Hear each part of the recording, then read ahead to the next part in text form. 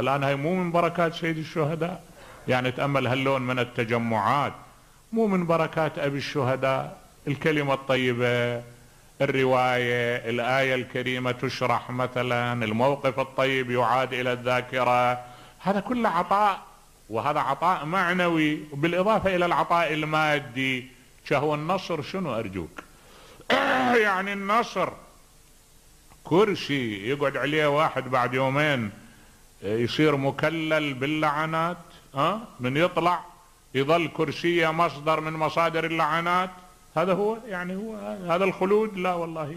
الخلود هذا اللي تشوفه قدام عينك.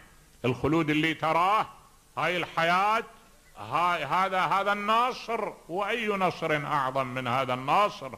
أن يصبح امثولة في رؤوس الأحرار وانشودة على الألسنة ويصبح المثل الأعلى.